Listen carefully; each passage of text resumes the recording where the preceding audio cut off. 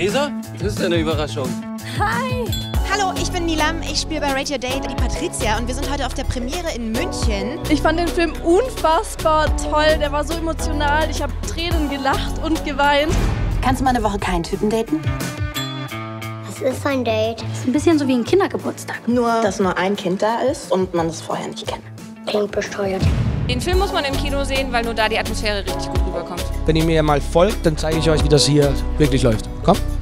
Ich fand es total lustig. Also wir haben echt viel gelacht. Super lustig, toller Cast, cooles Thema. Wir haben uns gefragt, gibt es die App?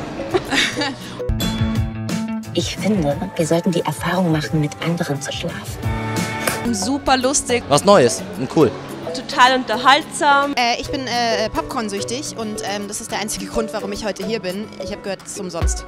Seine Family gehört irgendeine Bank. Ist das ein Tag zum Bumsen hier oder was?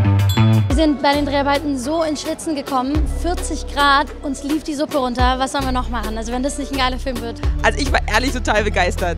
Ich fand ihn sehr belebend. Der macht Spaß. Super begeistert von dem Film. Super aktuell. Mega cooler Film. Und ab 7. März nur im Kino. Die App ist online. Radio Day! Nee, lass mal Freunde sein, ja?